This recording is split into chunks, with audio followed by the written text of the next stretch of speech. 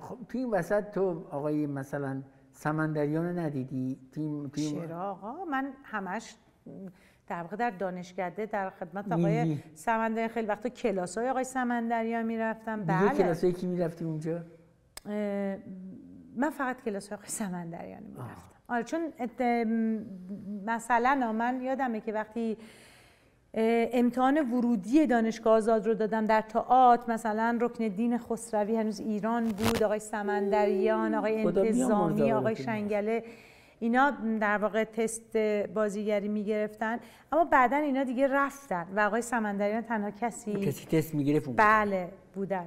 آیا یادم تو دانشکده مثلا یه کار کلاسی برای آقای توکلی بازی کردم در نقش مگی گربه گربه روی شیروان داغ. آقای توکلی مگی گربه اجرا کرد؟ یا ایشون تزش بود؟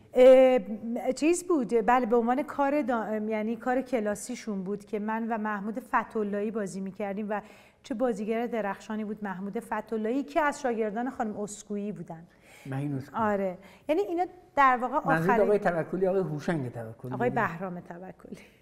بهرام توکلی هم دوست من دیگه با آقای هوشنگ توکلی که نمی‌تونستم هم دانشکده بودم آره نه بهرام توکلی اون موقع رشته چی در تئاتر اینو بچه‌ها همه تئاتر